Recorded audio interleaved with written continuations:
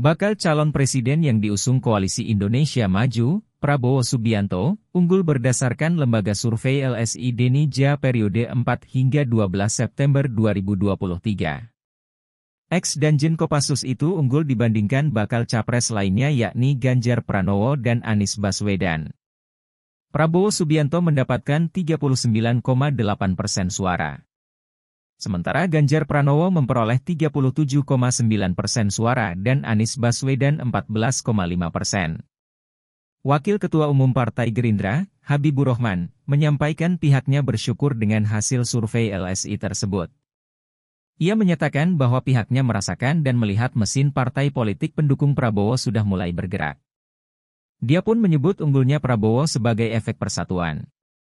Lebih lanjut, dia menambahkan bahwa kenaikan elektabilitas Prabowo yang cukup signifikan dipengaruhi pernyataan Presiden ke-6 RI Susilo Bambang Yudhoyono yang turun gunung demi mendukungnya.